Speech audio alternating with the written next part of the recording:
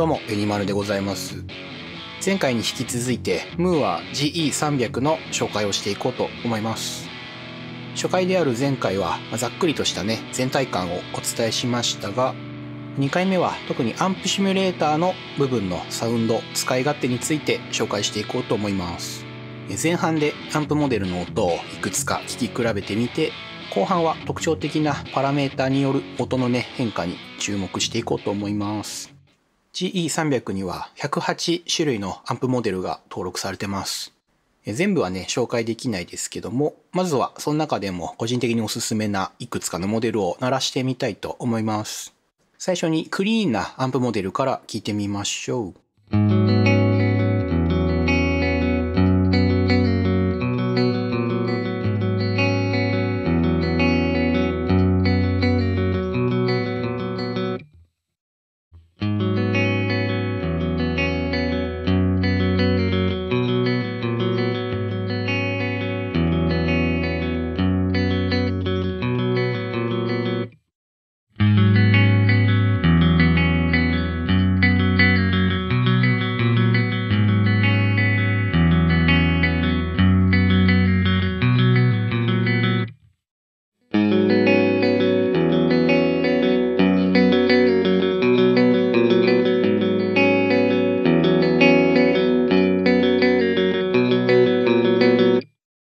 とも音の雰囲気がガラッと違いますね。程よいレンジ感を持つデラリバと、まあ、それがね、よりパキッとした感じになるツインリバーブ。ハイワットは4発キャビの音圧感と、ま、独特のハイファイな感じが大げさなぐらい出てますね。最後の AC30 はまキャビネットの箱鳴り感が非常によく感じられていいと思います。一昔前のアンプシミュレーターだとこういう空気感とかってね、あんまり得意じゃなかったと思うんですけど、そのあたりだいぶ科学の進歩を感じますね。よくね、こういう機材だと、アンプモデルが多すぎて、どれが良さげだか探すのが大変ですと思っちゃいますけど、GE300 はクリーンではこのデラリバのモデルがとてもいいと思います。サウンドのバランスが非常にいいので、迷ったらね、これを基準に考えるのがおすすめです。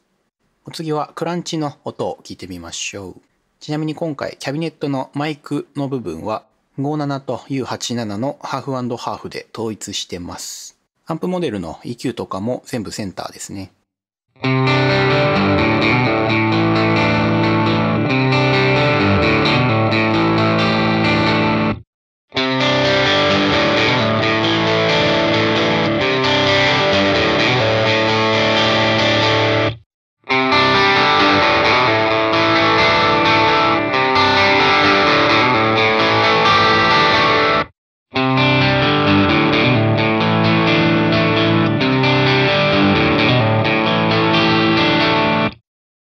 ランチも音がそれぞれ全然違いますね。まあ、クリーンの時もそうでしたけど、まあ、4発キャビと2発1発のキャビネットモデルで音圧感の違いがかなりよく出ますね。まあ、どっしりさせたいギターロックの時と、まあ、オケに鍵盤とかが鳴ってるポップスの時なんかで綺麗に使い分けできそうでいいなと思います。ではゲイン高めの音も聞いてみましょう。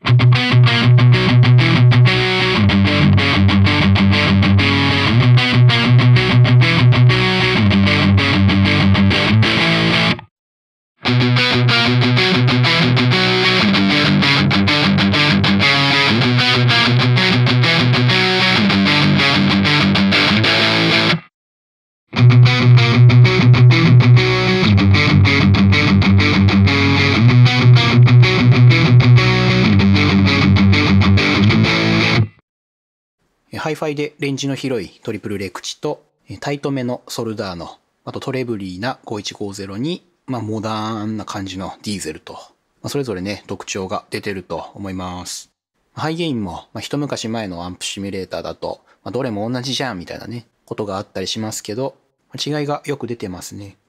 いろんなアンプモデルがありますけど、個人的に GE300 はアメリカンアンプ、ま、フェンダー、メサブギーあたりが特にいい音だなと思います。なんで GE300 をね、使うよという時は、そのあたりからスタートするといいかもしれません。後半はアンプセクションのパラメータを見てみましょう。基本的にはゲイン、ボリュームとベース、ミッド、トレブルというね、3バンド EQ で音を作っていきます。特徴的なのは2段目にパワーアンプセクションがあって、バイアス、プレゼンス、そして真空管の種類をコントロールできます。このね、チューブの種類を変えると音がガラッと変わりますね。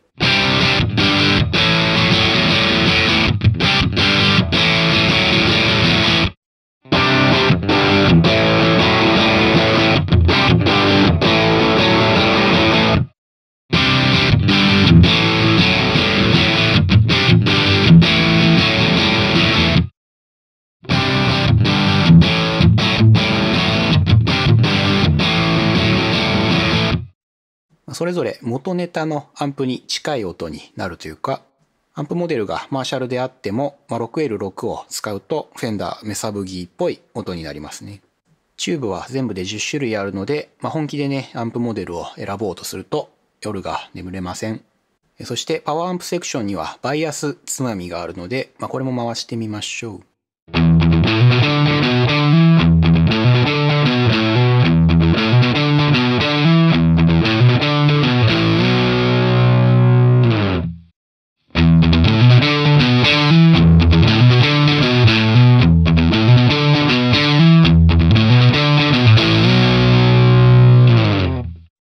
曲げると倍音が強調されてバイト感がねある音になります。高くすると手前で音が鳴っているように聞こえるので音のね距離感を調節するのに使えそうです。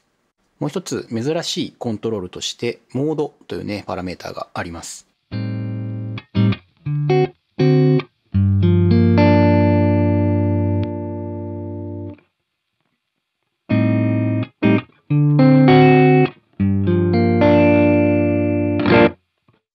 通常のオリジナルから Distinct モードに変えると、ハイとローがフィルターされて、まあ、若干ね、ミッドが強調される、ま、ミックスをね、した後みたいな音になります。なので自宅録音とか、まあ、あとライブなんかで、オ、ケにバランスよく馴染ませることができますね。ま、4発キャビのアンプモデルとかで、ま、ちょっと音圧がありすぎるかなとかっていう時はね、積極的にオンにしてみるのがいいかなと思います。という感じで今回は GE300 のアンプシミュレーターの部分にフォーカスしてみました。まあ、とにかくね、科学の進化を感じるというか、まあ、一世代前のね、値段が何倍もするアンプシミュレーターと比べても、それぞれの実機のニュアンスがよく出てるなとは思います。え次回はキャビネット、まあ、特に IR の部分に注目してみようと思いますので、まあ、さらに一歩進んだ、ま音作りがしたいぞという方は、まあ、ぜひ見てください。という感じで次回に続きます。ありがとうございました。